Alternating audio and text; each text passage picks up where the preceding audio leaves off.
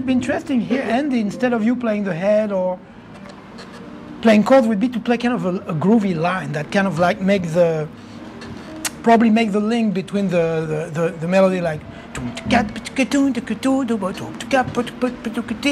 something you know you know what I'm saying something like that that kind of like okay? David let's try again. I feel like Nathan you're dragging just a little bit it's slight but it's enough to kind of and when you attack the swing part don't slow down that's the big trap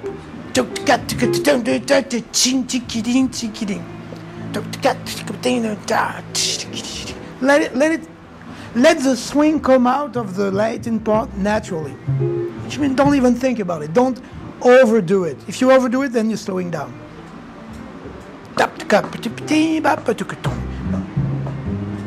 So now let's put some like some mystery, some suspense, danger.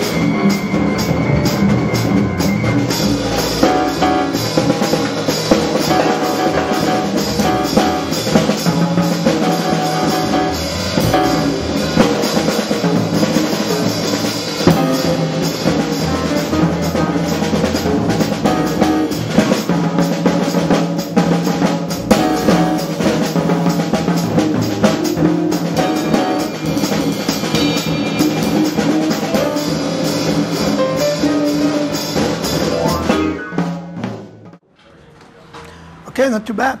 Uh, there is a general tendency, which I felt, especially when I was playing with you guys, that each time we, we hit the swing part, it kind of gets contrived in a way. For example, when you are playing your solo, when you're playing the, the A sections, the Latin things, you were really like, yeah, you know, you, all your body language was very like about moving, dancing, you know. And then each time we reached the, the swing section, it was like, Yeah. jazz pianist. You know, I could feel the button, you know, almost.